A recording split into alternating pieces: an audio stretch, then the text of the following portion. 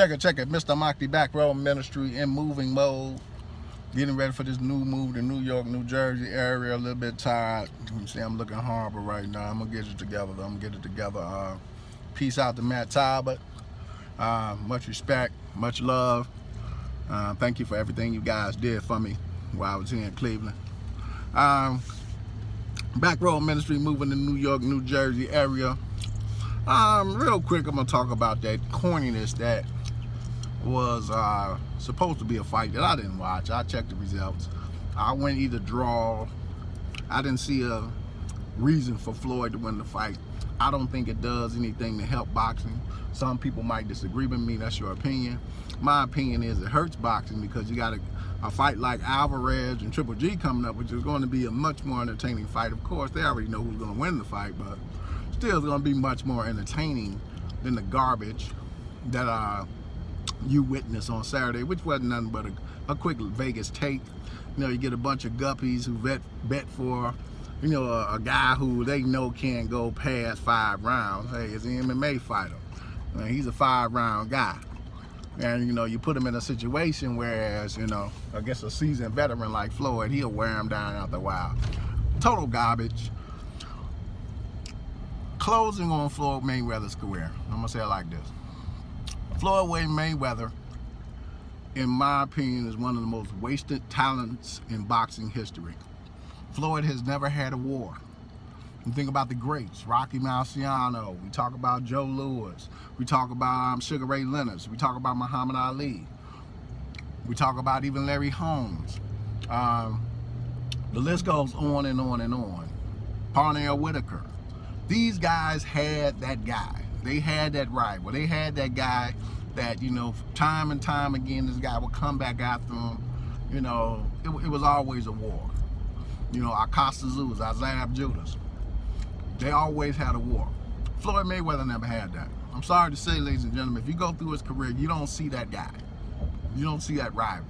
He could have had that with Pacquiao. He chose not to because Floyd's father and Floyd's camp has always been in protect Floyd mode since the one time Floyd almost got beat.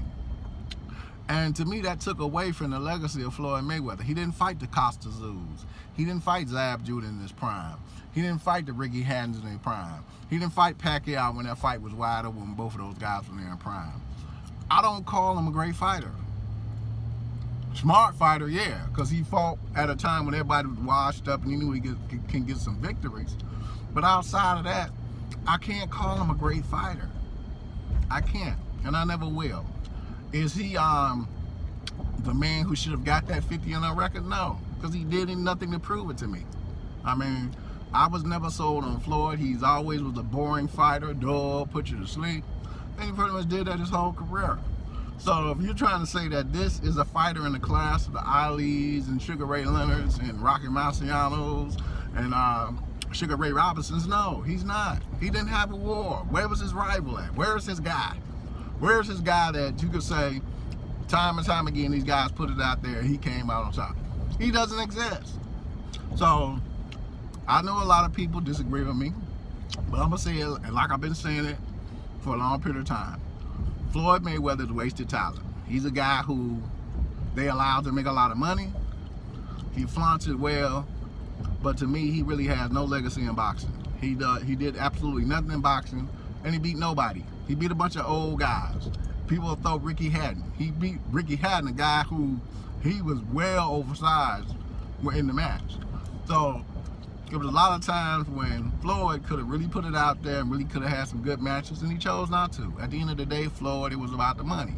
And I know my black folk, they be man, it's always about the money. He got paid. Yeah. But when is it going to be about legacy? When is it going to be about the sport?